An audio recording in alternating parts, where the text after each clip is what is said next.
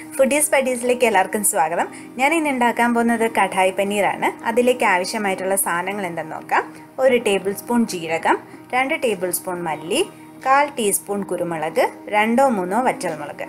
അതൊരു പാൻ വെച്ച് നമുക്കതിലേക്ക് ഇട്ട് കൊടുക്കാം. ചെറു തീയിലിട്ട് ചൂടാക്കിയെടുക്കാം നമുക്ക്. എരിവ് നിങ്ങൾക്ക് ഇഷ്ടാനുസരണം ചേർക്കാവുന്നതാണ്. നന്നായിട്ട് ഇളക്കി കൊടുക്കുക. കരിഞ്ഞു പോവാണ്ട് നോക്കുക. ചൂടായാൽ നമുക്ക് ഇത് നന്നായിട്ട് പൊടിച്ചെടുക്കണം.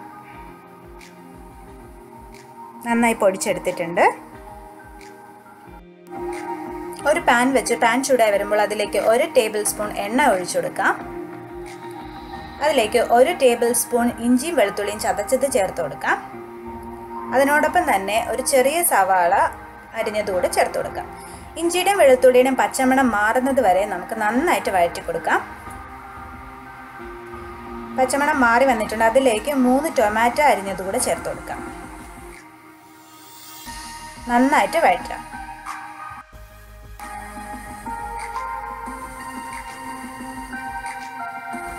സവാളയും ടൊമാറ്റോയും നന്നായിട്ട് വെന്ത് വന്നിട്ടുണ്ട്.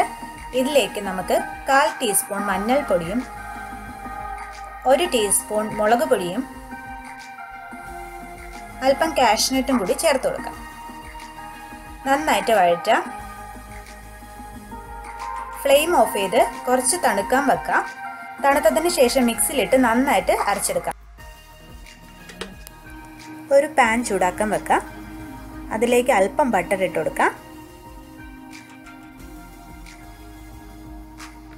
ബട്ടർ നല്ല മെൽറ്റായി വന്നിട്ടുണ്ട്. അതിലേക്ക് ക്യൂബ്സായി അരിഞ്ഞു വെച്ചിരിക്കുന്ന സവാളയും ക്യാപ്സിക്കവും ഇട്ട് കൊടുക്കാം.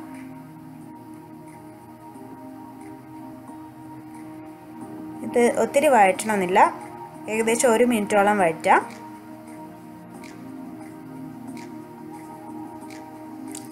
നന്നായി വഴന്നു വന്നിട്ടുണ്ട്. ഇതിലേക്ക് അരച്ചു വെച്ചിരിക്കുന്ന സവാള ടൊമാറ്റോ പേസ്റ്റ് ചേർത്ത് നല്ലതായിട്ട് വഴറ്റിയെടുക്കാം.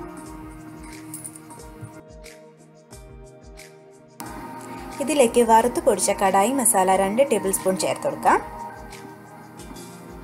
ഇതിന്റെ പച്ചമണം മാറുന്നത് വരെ നന്നായിട്ട് വഴറ്റാം അതിനുശേഷം വെള്ളം ചേർത്ത് കൊടുക്കുക. ഗ്രേവി ആവശ്യമെങ്കിൽ അതിനനുസരിച്ച് വെള്ളം ചേർക്കാവുന്നതാണ്.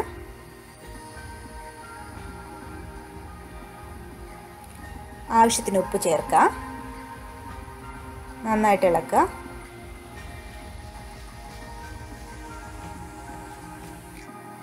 ഇതിലേക്ക് പനീർ ഇട്ടെടുക്കാം ഇത് ഗ്രേവി ആയിട്ട് നന്നായിട്ട് മിക്സ് ചെയ്യാം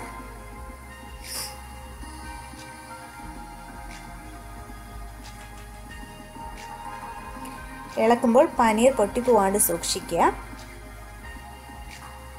രണ്ട് മിനിറ്റിലേക്ക് നമുക്കിത് അടച്ചു വെച്ച് വേവിക്കാം. രണ്ട് മിനിറ്റ് കഴിഞ്ഞിട്ടുണ്ട്. നമ്മുടെ കറി നന്നായിട്ട് കുറുകി വന്നിട്ടുണ്ട്. ഇതിലേക്ക് കാൽ ടീസ്പൂൺ ഗരം മസാലയും രണ്ട് പിഞ്ച് മേത്തി പൗഡർ അല്ലെങ്കിൽ മേത്തി ലീവ്സ് കൂടി ചേർത്ത് കൊടുക്കുക. ഫ്ലെയിം ഓഫ് ചെയ്ത് ഇതിലേക്ക് കാൽ കപ്പ് ഫ്രഷ് ക്രീം കൂടി ചേർത്ത് കൊടുക്കുക.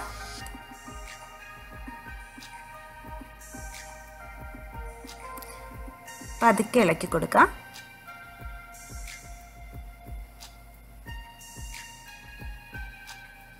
ഇതിലേക്ക് അല്പം മല്ലിയില കൂടി ഇട്ട് കൊടുക്കുക. നമ്മുടെ കടായ റെഡി ആയിട്ടുണ്ട്. എല്ലാവരും തീർച്ചയായിട്ടും റെസിപ്പി ട്രൈ ചെയ്ത് നോക്കണം.